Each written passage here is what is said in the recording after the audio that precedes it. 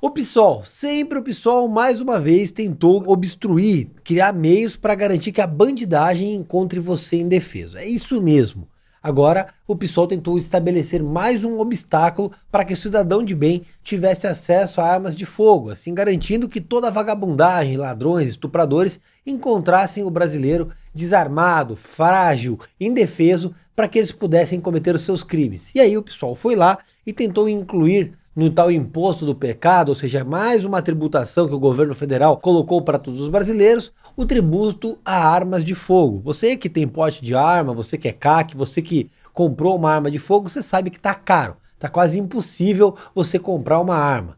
O imposto que você paga é surreal, é mais que num veículo, é mais que em qualquer coisa. E o pessoal queria tornar ainda mais caro.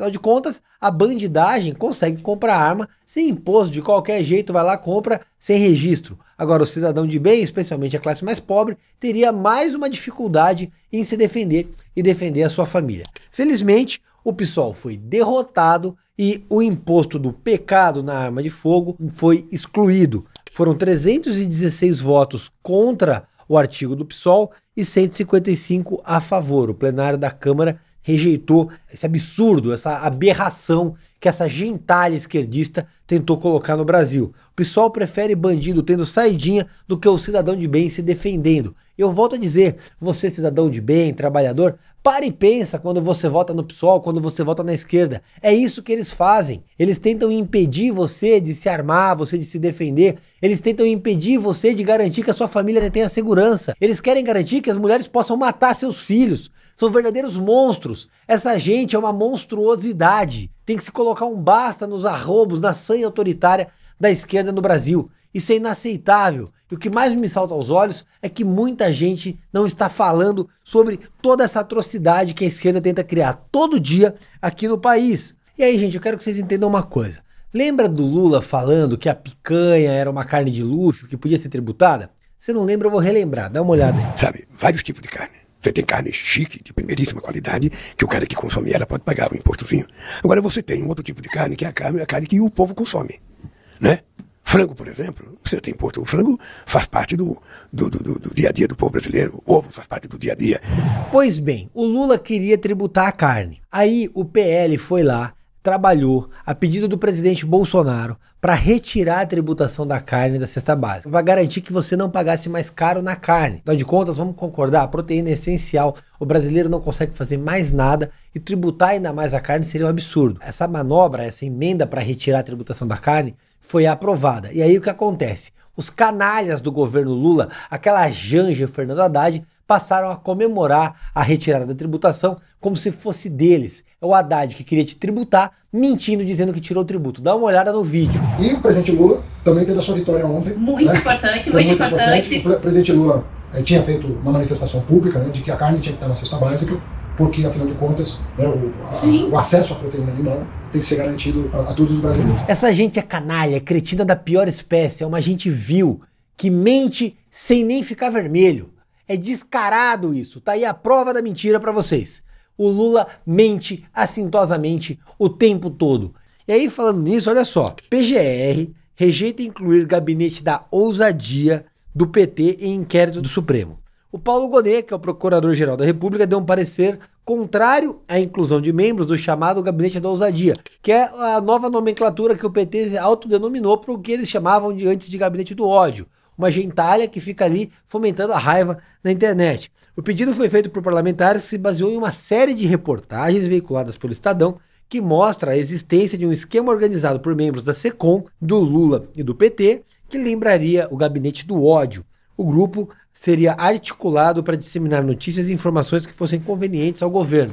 Só que aí, como é conveniente ao governo e a PGR é completamente aparelhada, o Paulo Gonet simplesmente entendeu por arquivar. E aí vocês vão lembrar, eu falei aqui no canal, hein? Dia 28 saiu uma matéria do antagonista sobre suspeitas de fraude numa mega licitação de 197 milhões de reais na Secom. Os auditores do Tribunal de Contas identificaram elementos que levantassem a tese de vazamento antecipado. E aí, olha só que interessante essa matéria. TCU manda a SECOM suspender licitação para redes do Lula por suspeita de fraude. Pois bem, a iniciativa do TCU veio do deputado Van Hatten. Parece que o Pix de alguns jornalistas vai se atrasar. Afinal de contas, o dinheiro não cantou. Falando em não cantar, o Lula está numa campanha desenfreada. Ele está descontrolado, tentando dizer para todo mundo a todo tempo que ele não era corrupto, que não tinha corrupção no governo dele. Aí eu me deparo com essa manchete aqui. Lula disse que não há provas de corrupção na Copa de 2014 e Olimpíadas de 2016. Tem até vídeo, dá uma olhada. Eu lembro da quantidade de denúncia de corrupção na Copa do Mundo. Eu lembro da quantidade de denúncia de corrupção sem ninguém nunca provar Nunca se provou que houve corrupção nos estádios brasileiros. Nunca se provou que houve corrupção em qualquer esporte olímpico no Brasil. Nunca.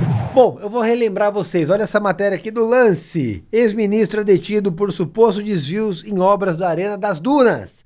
Ex-ministro Henrique Eduardo Alves foi preso sob acusação de participação em esquema de corrupção ativa e passiva, lavagem de dinheiro na construção do estádio lá em Natal. E olha só, delação confirma propina em três estádios da Copa do Mundo. São os estados do Maracanã, no Rio de Janeiro, Mané Garrincha em Brasília Arena Amazônia em Manaus. Fizeram um estádio no meio e Manaus só fazer uma oca lá no meio, que nem tem futebol suficiente para esse estádio.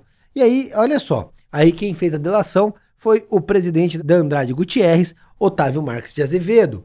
Mas tem mais essa outra aqui, ah, sempre o Cabral, né? Falando em corrupção, tem Cabral. Ex-governador do Rio de Janeiro, Sérgio Cabral, cobrou propina em obras da Copa do Mundo, segundo delações premiadas da construtora Andrade Gutierrez e Odebrecht. Informações são dos jornais O Globo e Folha de São Paulo.